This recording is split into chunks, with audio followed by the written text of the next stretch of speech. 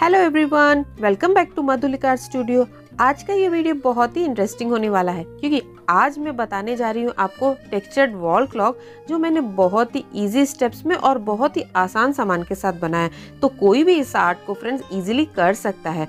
अगर आप चैनल पे नए हो, पहली बार मेरा वीडियो देख रहे हैं तो गाइस एक छोटा सा रिक्वेस्ट है। चैनल को सब्सक्राइब किए बना मत जाइए। आपका एक छोटा सा लाइक एंड सब्सक्राइब मुझे बहुत मोटिवेट करता है। तो चलिए वीडियो को स्टार्ट करते हैं। फ्रेंड्स, आज की इस ब्यूटीफुल सी क्लॉक बनाने के लिए मैंने राउंड बेस लिया है।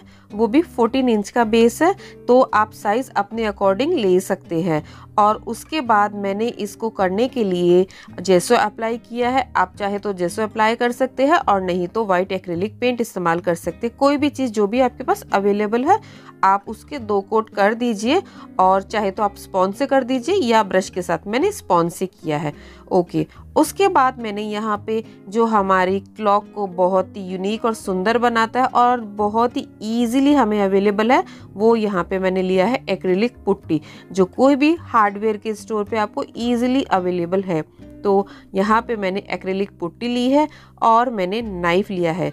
तो गाइज़ आपके पास इस तरह का अगर नाइफ़ नहीं है तो आप एक काम कर सकते हैं स्पून तो हमारे पास होती है तो अगर आपके पास आइसक्रीम स्पून है तो वो इसके लिए बेस्ट है क्योंकि वो इसी की शेप में होती है।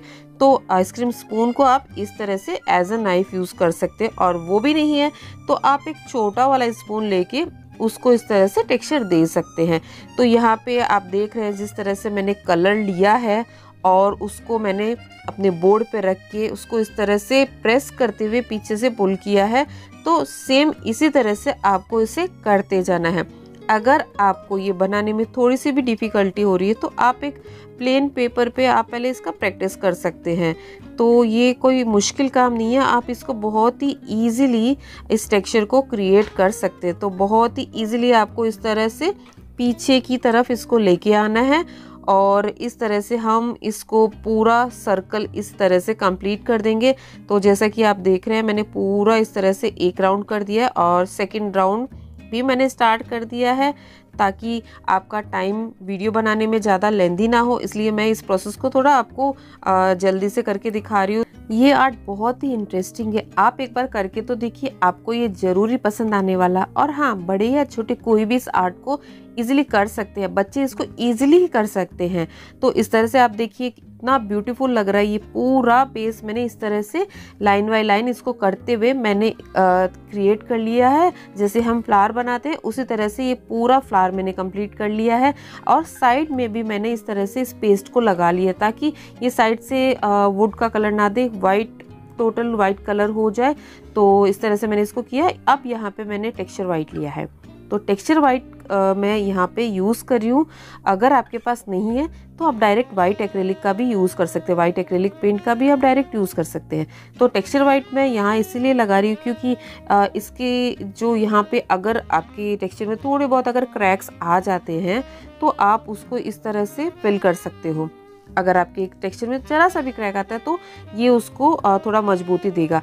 और हाँ फ्रेंड्स अगर आपको लग रहा है कि आपका डायरेक्ट टेक्सचर पेस्ट में आपको कुछ प्रॉब्लम आ रही है, आपका क्रैक्स आ रहे हैं तो आप एक काम और कर सकते हैं। आप अपने जो एक्रेलिक पुट्टी है, उसमें आप थोड़ा सा फेविकॉल मिलाई आप एक अलग से बोल ले लीजिए, उसमें थोड़ा सा एक्रेलिक पुट्टी डालिए और थोड़ा सा उसमें फेविकॉल मिक्स कीजिए। और चाहे तो आप वाइट एक्रेलिक पेंट डाल दीजिए और उसको अच्छी तरह से आपको मिक्स करके फिर आपको इस पेस्ट को अप्लाई करना है। तो इस तरह से आपके क्रैक्स की अगर प्रॉब्लम आ रही है तो वो भी नहीं आएगी।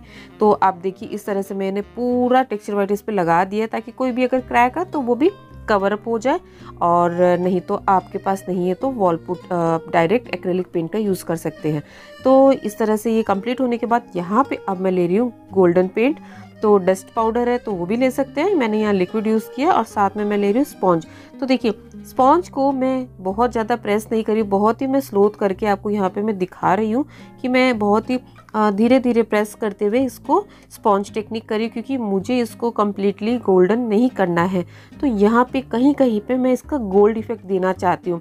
जैसे हम गोल्ड फॉइल भी यूज़ कर सकते हैं अगर आप करना चाहो तो कहीं कहीं गोल्ड फॉइल का यूज़ कर सकते हैं। और अगर गोल्ड फॉइल नहीं करना चाहते तो एक सिंपल वे है जो मैं आपको करके दिखा रही हूँ। तो इस तरह से मैं कहीं कहीं पे स्पॉन्ज से इसको लुक दे रही हूँ। आप देखिए, इस तरह से मैंने कहीं कहीं पे इसको टेक्सचर दिया है और बस इस तरह से हमारा ये क्लॉक रेडी हो जाता है और इसको करने के बाद आपको इसको ड्राई करके वार्निश ज़रूर करना है। वार्निश के आप दो कोट ज़रूर से अप्लाई करें और उसके बाद मैंने यहाँ पे जो क्लॉक की मशीन आती है वो सब इसमें लगा दिया और एक प्यारी सी वॉल क्लॉक हमारी रेडी हो गई है। यहाँ पे मैंने आपको डायरेक्ट दिखाया है। मैंने आ, मशीन लगा के आपको नहीं दिखाया है क्योंकि एक छोटा सा इजी सा प्रोसेस है जो आप कर सकते हैं। अगर आपको कोई डिफ़िकल्टी है तो आप मुझे कमेंट करके ज़रूर बताएँ और चलिए फिर मिलते हैं नए वीडियो में नए आइडिया के साथ। तब तक के लिए बाय बाय टेक केयर और हाँ फ्रेंड सब्सक्राइब किए बिना मत जाइए।